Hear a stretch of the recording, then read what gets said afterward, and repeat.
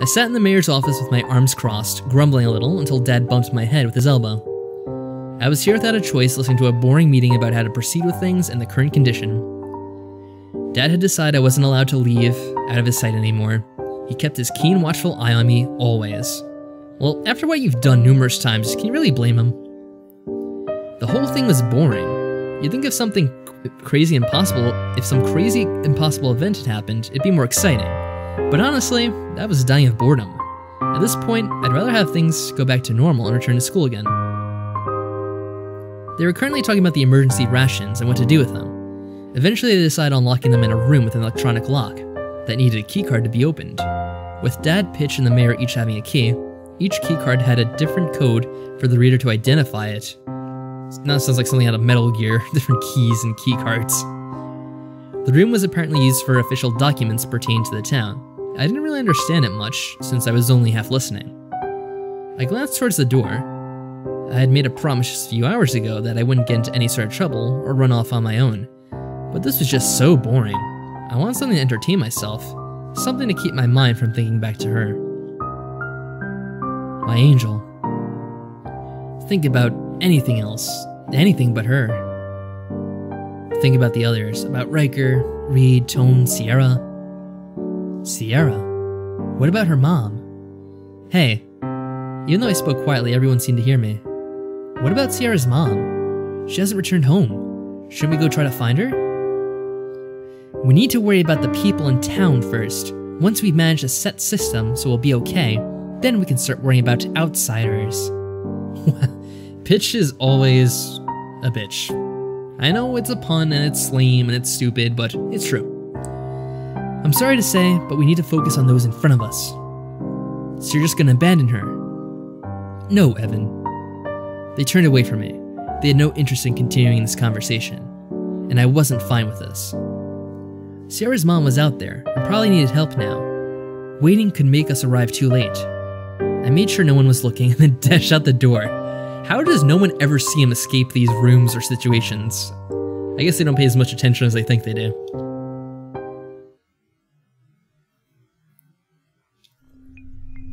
In the end, I was standing in front of the road that left town, flashlight in hand. I gulped a little as I looked at the darkness in front of me. Even with a set path to follow, it still had an eerie feeling, like if you didn't pay attention, you could get lost forever. Hey, snap out of it, Kogan. I got shoved a little, which pulled me from my stupor. Thanks, I needed that. It was only Reed and I this time, so I knew to expect a quiet walk. But I trusted him. He was brave and unfazed by basically everything, so he was dependable. Focus. We're trying to, to rescue someone. Well, we don't know if Sierra's mom is in trouble or not. That's not what you told me to get me to sign on to this little expedition. I said could. You did not. Okay, so maybe I did make some assumptions and use that to motivate Tone into not wanting to go, which in turn. Oh, Tone into wanting to go, which in turn made Reed agreed because he didn't want his sister to come. Whatever, let's just get this over with. And with that, we stepped out of town, following the dark road. So, how far up are we gonna go? I say we stop when we reach the next town. Well, how far away does this one work? Is it just the next town over? I kind of forgot what they said. I frowned at the thought. Walking to the town would probably take hours. But it was probably necessary to make sure. As we walked, I tried to only focus on the road. I didn't want to let my mind wander on my flashlight either. Hey. But after 20 minutes of silence, I got bored. What is it, Kogan? Reed was being as unfriendly towards me as ever. I just thought I'd make conversation. It passes the time. Fine, what is it? What do you think is going on? With all this darkness? Yeah. Beats me.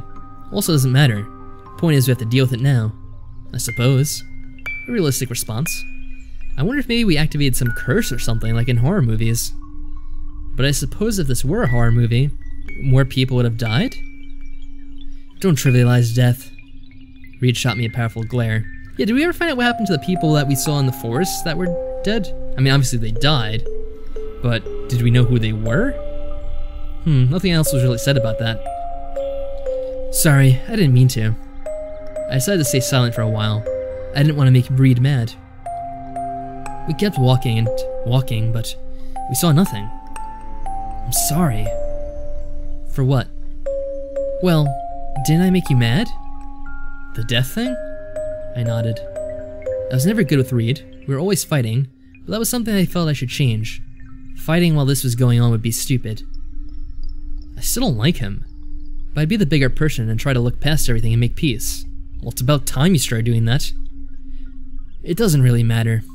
What? Then what was with that glare? It has to matter to you. You're about to stab me. It's nothing, Kogan. Forget it. I walked in front of him and stopped, forcing him to look at me in the eye. Hey, I'm trying to be polite. I'm trying to put the past behind us. The least you could do is act a little friendlier towards me. I can't. He brushed past me and continued walking. I glanced at the black pavement. I guess that makes sense. We we do have a lot of bad history. I shook it off and kept walking. All this darkness and the fog was just starting to play tricks on my eyes. Eyes, I could swear. I could see purple eyes in the fog. It was all unnerving, staring at darkness so long. It makes you see things. It messes with your head. I glanced at Reed.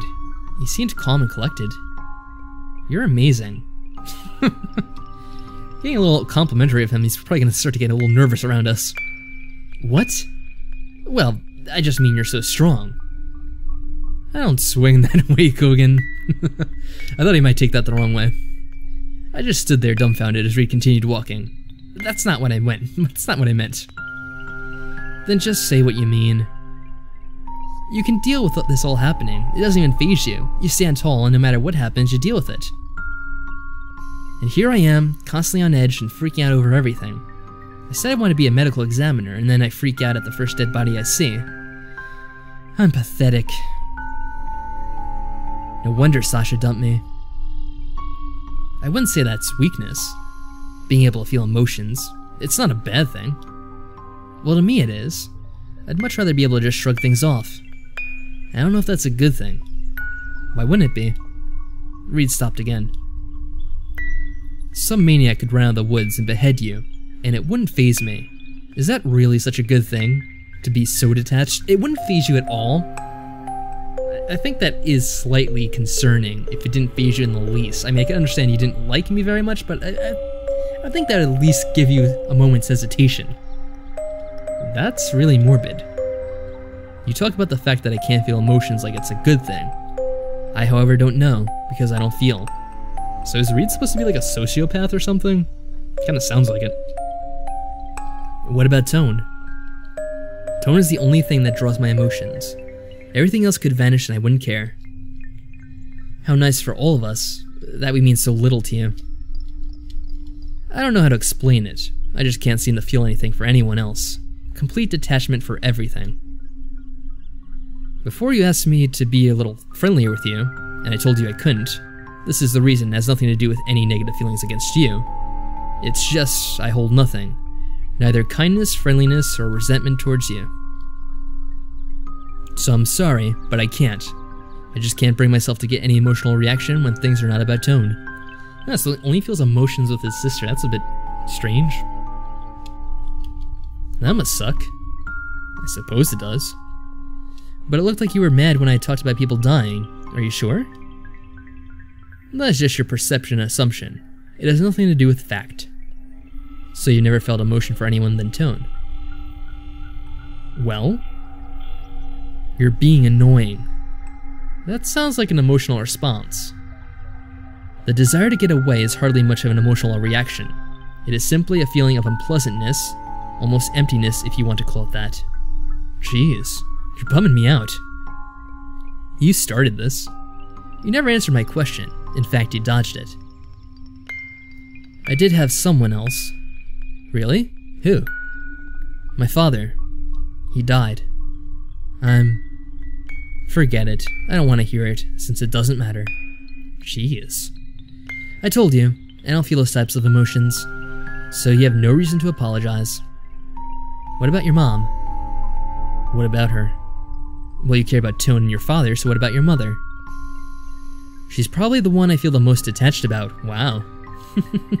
well, I mean, I don't like your mother either. Really? If you're asking if I love her, no, I don't. That's cold. But, I don't know, she does seem like an odd woman.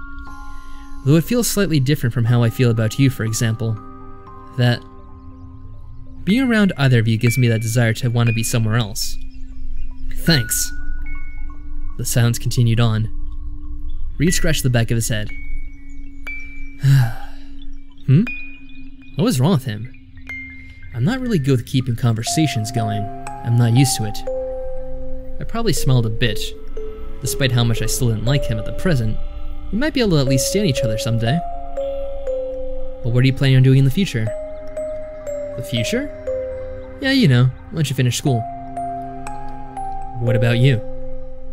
I've already decided I'm going to become a coroner, and I blame my dad's influence. Now stop avoiding and spell. I don't have one. Hmm? So I can't answer your question. What? I was gonna ask more, but Reed started to pick up his pace. It seemed like we were done talking. And then, from the darkness, I saw something. It was a light, and it was coming towards us Well, you better clear the road. What? What is that, a car? Reed and I both went to the side of the road as we watched the light get closer and closer, until we were being blinded by the headlights of the black truck. It was traveling slow, almost at a snail's pace. I gulped. Honestly? I honestly was worried about who could possibly be driving it. Are they pulling over? I was really getting worried now. I didn't bring anything like a weapon this time. I think they're just gonna slow. I think they're just going that slow all the time. Finally, they got close enough for us to get a good look. I pointed my flashlight at the truck, and then, as if reacting to it, they stopped. The truck died. I glanced at Reed. He was stone faced still. I wish at this moment I had his detachment, since right now the only thing going through my body was fear. This is strange. Reed and I walked up to the truck. Reed shined his flashlight inside the truck. There was no one inside. Who was driving this just now? No one, it seems. Ghosts? Don't be silly. Although, I really didn't like this truck. I want to get away from it as fast as possible. Reed smashed open the window and locked the door. What are you doing? Having a look inside. The key was still in the ignition, but the truck was off, and there didn't seem to be anyone at the wheel recently. But the truck had been on, that much was clear. It was still warm, in fact. Hey, look at this. I wasn't sure I wanted to, but nonetheless I looked at where Reed was pointing. It was on the back of the seat cushion near the base. Is that? Please tell me it isn't. Yeah, it's blood. I stepped away from the truck, shaking my head. This was getting too much. First the darkness, now a ghost truck, and finally. What are you doing now? Reed was still looking at the truck, trying to find out who owned this thing. No luck, no information at all. I was relieved when Reed stepped out of the truck and we continued walking down the street. That was really weird. This is weird. That's to say the least. What could possibly be stranger than what we've encountered already? What is? We should have seen the tunnel by now. The tunnel? Oh wait, yeah. Just before reaching the end of the town's territory, there's a short tunnel, but a tunnel nonetheless. You'd think we would have reached it by now. It isn't very far, I've walked to it before. We should have reached it 20 minutes ago at least. We should turn back. Something isn't right. I nodded in agreement. Yeah, I, I knew it. As soon as we started on this road, I could tell that there's gonna be something supernatural about it. Like, somehow we're disconnected from the rest of the world at this point. I don't know how it works, but it's like we're in our own little dimension.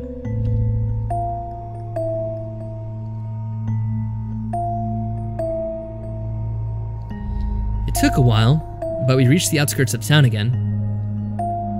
But Reed stopped and turned to face me. You realize it, don't you? Realize what? That truck. We never passed it again on the way back. A chill ran down my spine just thinking about it. Reed was right. We didn't see it a second time. I shook my head. I didn't want to think about that truck. We'll have to go looking for Sierra's mom another time. I nodded my head, and Reed and I parted ways. Huh. Well, that was very mysterious. I picked at the light meal on the plate. Dad seemed to have embraced the ra ration food mentality. I was still upset at him, but I did want to live, so eating with him was a forced action. Whenever he tried to start up a conversation, I purposefully ignored him. That is not smart. Or close it off with a one or two word response. I just wanted more freedom. I wasn't a little kid. I could take care of myself. Evan, how would you like to deliver some food to your mother? Dad's going to be trying to lift up my spirits by allowing me to get away from him for at least a little while. I didn't need to be told twice. I wanted out of here in a way as and anyway, I wanted out of here in any way possible. I was going to take it.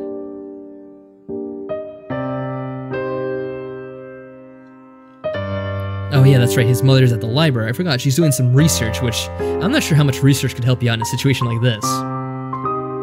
The library was in the center of the town next to the town hall. It was a large building filled with books. It was the largest building in town, in fact. We prided ourselves as being the largest library in the district. Which wasn't that big of an accomplishment, but it was something, I guess. I stood in front of the large doors. I had so much to talk to Mom about. So much I needed help with. I was glad that Dad gave me this chance. I reached for the door knob. What do you think you're doing? I turned around, Pitch was behind me. Such interaction will only create interference with their work. Please refrain from such actions. Wow. Can you uh, step off a little much, maybe? I just want to see what- I just want to see my mom for a second. For the good of the town, I must not allow this. Who are you to say what we can and cannot do? Come on, it would probably help. No, you're being unreasonable. A little sacrifice is required at times for the good of the future. Please understand. Pitch grabbed me and pushed me away from the library. Well, we had orders from our dad to deliver food to our mom, so she really should back off.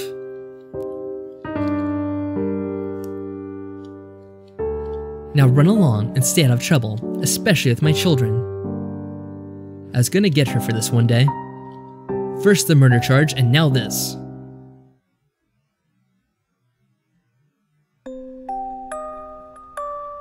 You were turned away, it seems. I stopped. Noelle stood in the alley. What do you want? I honestly was out of patience. Don't you feel like something strange is going on? Don't you think the mayor is acting different? Pitch, and your dad too? My eyes narrowed. Just what are you suggesting? I think they're hiding something. Something from all of us. well, not all of us. I'm warning you. I might be on bad terms with my dad, but I still care for him. Poor naive Evan gets used by everyone. this girl was trying to piss me off. And just what makes you think that you, they're hiding something? Huh? Uh, can you speak up a bit? I don't understand whatever the hell you just said there. What? What? What did you say? Was that some kind of other language? It didn't sound like anything I'd ever heard. It's okay if you don't understand yet, Evan. Soon everyone will. Soon everyone will. What are you talking about? I'm an oracle. I can see the future, you know. So I know what's going on. I've been blessed. I can see the future. I was given this gift from the heavens so I can watch the destruction of all you devils. I was blessed. The angels, I can see them in a far off land. I want to go there, to see that world. This world feels like nothing more than a passing phase. I can see all the evil the mayor, Pitch, and your dad. They're the worst. I grabbed her by the collar and held her up in the air. Don't talk bad about my dad. I can't wait to see it. The look of horror on your face. You'll see the truth. Everyone will. the world. it will all end. Shadow Witch, the darkness will consume all. All you devils shall get yours. The witch who caused the shadows to come will kill you all. She'll free us from our suffering. It will all end. I let go of her. She had gone crazy. Umbra. Yeah. Well, that was certainly creepy.